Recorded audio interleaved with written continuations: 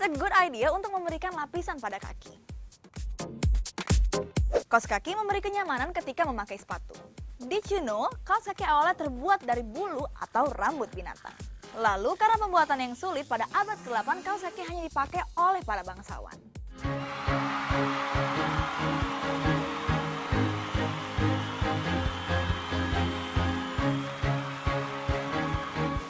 Most important person behind the socks? This is Fashionery.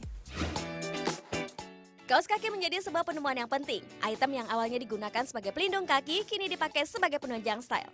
Pada abad ke-18 sebelum Masehi, bangsa Yunani menggunakan bulu atau rambut binatang sebagai kaos kaki untuk melindungi kaki agar tetap hangat.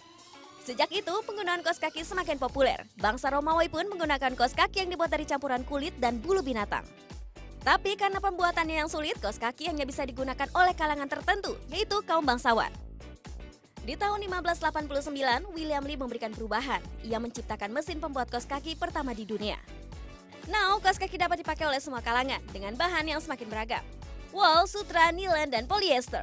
Nilon merupakan bahan yang paling banyak digunakan untuk membuat kaos kaki. Bahan ini diperkenalkan pertama kali di New York. Now, get ready for the unique story. Berapa harga kaos kaki ini? Sekitar 14 juta rupiah. Yes, it's the most expensive socks. Kaos kaki ini diproduksi oleh brand ternama Falky dan 100% terbuat dari wool. Wool ini berasal dari hewan vicuna yang langka dan hanya dibuat warna coklat kemasan seperti warna vicuna.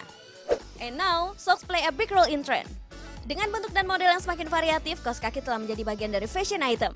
Seperti yang dipakai para selebriti dunia. On the red carpet, on the street, they wear it so fashionably. And this has been the fashionary of socks.